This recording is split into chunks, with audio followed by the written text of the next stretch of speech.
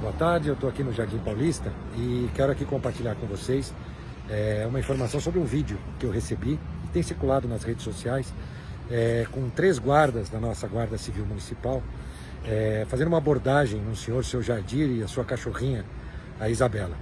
E na minha opinião, essa abordagem excedeu muito o limite razoável é, que deveria ter sido feito. O seu Jardim é um senhor de idade, ainda com uma cachorrinha no colo, me parece que houve um excesso ali nessa abordagem.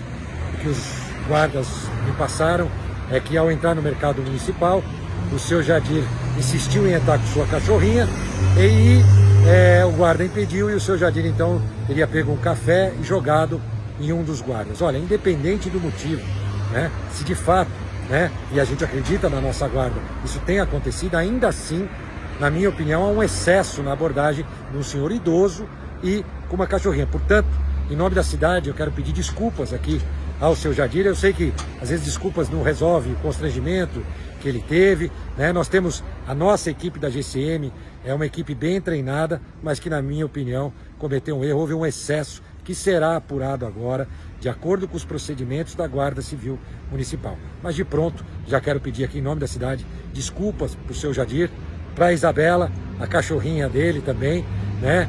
É, seu Jadir, eu tenho oportunidade, estou à disposição do senhor para que pessoalmente eu possa também é, lhe passar esses pedidos de desculpa. Eu sempre vou ser transparente, vou expor minha opinião, vou, claro, estar ao lado do cidadão de São José. E nesse caso, me parece que a nossa GCM excedeu é, na sua abordagem. Então, vamos apurar e vamos tomar providências. Obrigado e uma boa tarde a todos.